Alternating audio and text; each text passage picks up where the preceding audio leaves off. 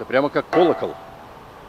В Америке в городке Хоуэлл, штат Нью-Джерси, при русском доме Родина с недавнего времени существует парк русской славы. Здесь установлены бюсты выдающихся российских полководцев и писателей, глав государств и политических деятелей. Инициатор создания этого парка – председатель Совета Русского дома Родина Александр Аркадьевич Бондарев. У нас есть э, четыре основные группы. В Имперской аллее стоят памятники Петру I, Екатерине II, Александру I, Александру II, Александру III. Но эта аллея не закончена. Там же планируется устроить часовню в память о воинах, погибших за свободу России. Вторая группа – это группа полководцев, э, значит, начиная с Суворова, на мой вопрос, кем все финансируется, Бондарев назвал Михаила Леонидовича Сердюкова, руководителя компании «СМИК» и проекта «Аллея российской славы». Живет он в городе Кропоткин Краснодарского края, где эти памятники были изготовлены и переданы в дар Русскому дому Родина. Михаил Леонидович, Миша, низкий тебе поклон. Русский дом Родина взял на себя э, немалые расходы, потому что доставка, значит, разбивка парка. А Русский дом Родина где берет деньги?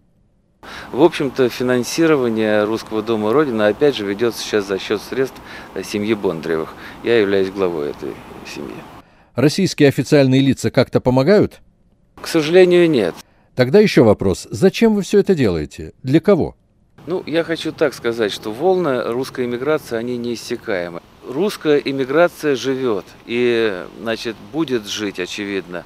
И э, вот по разным данным э, в Америке проживает около 5 миллионов э, людей с русскими корнями. Вот для этого создавалось, конечно, для, для памяти о наших предках и для воспитания э, подрастающих поколений. Э, мы сейчас э, поставили памятник Владимиру Высоцкому в середине, потому что это человек, который выходит за какие-либо группы. Вот там есть поляна, на которой мы 25 июля, в день смерти Владимира Семеновича, собираемся проводить фестиваль авторской песни, посвященной его памяти. Над русским домом Родина два красно-бело-голубых флага.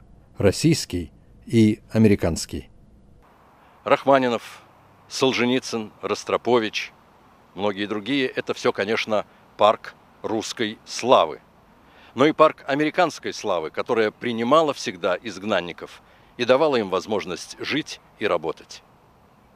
Специально для программы «Мир сегодня» Александр Лахман, Александр Беликов, продюсер Рейса Чернина, Нью-Джерси.